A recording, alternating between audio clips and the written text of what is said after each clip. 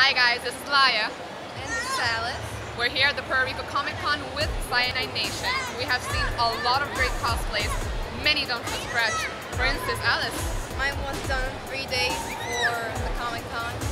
So you don't need to buy, you don't need to go like spend $500 on an outfit. You can just do it from scratch, do it yourself, do it personally, and just have fun at the Comic Con. And that's what we're doing here. So I hope you enjoy all the clips that you're going to see ahead, all the interviews and the cool people